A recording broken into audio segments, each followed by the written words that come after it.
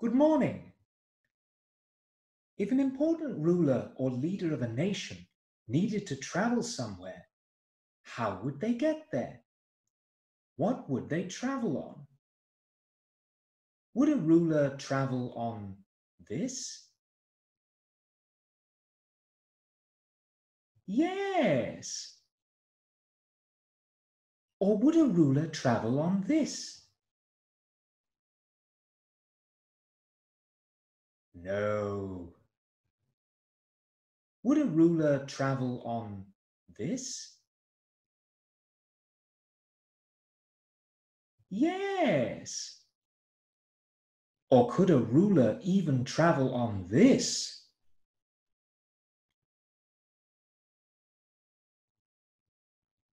Not likely. Or would a ruler travel on this? Yes. Would a ruler travel on this?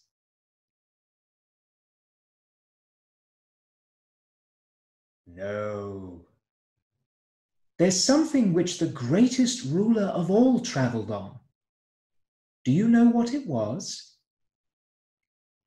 Yes, a donkey.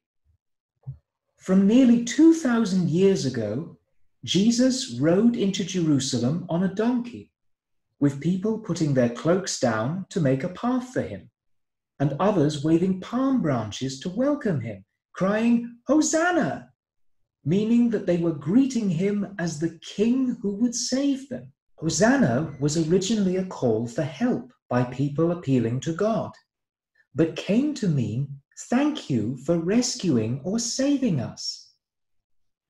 As it says in Mark 11, verse 9, those who went ahead and those who followed shouted, Hosanna!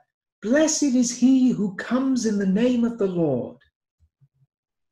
But why did Jesus ride into Jerusalem on a donkey?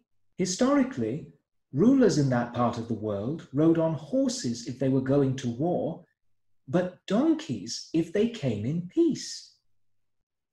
For example, Solomon rode a donkey to his coronation when he became king of Israel. This was more than 900 years before Jesus and is just one of the different historical examples.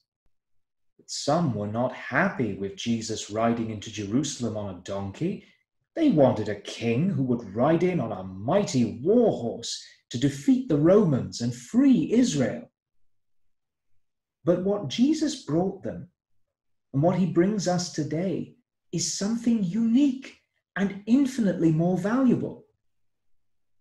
Do you know what it is?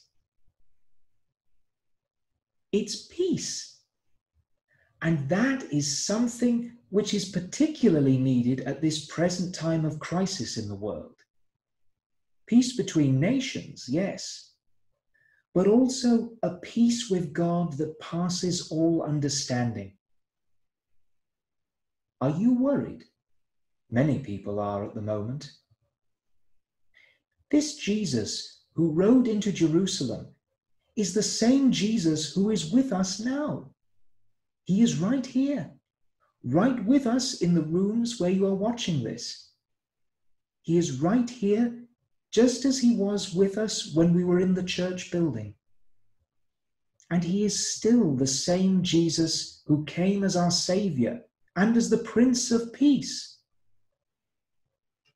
The crowd put their cloaks down and waved branches and shouted, Hosanna! But what are we going to do? They were calling him their king. Are we going to do the same? Some of you will have been clapping at 8 p.m. on Thursdays which is right and good to show our appreciation for those who have been so helpful. But let's not forget to show our appreciation for the King of Kings and Lord of Lords, for Jesus, who rode humbly into Jerusalem on a donkey. Are we going to cry out? Are we going to, in our own home, shout Hosanna? Let's do that. Shout Hosanna! and again.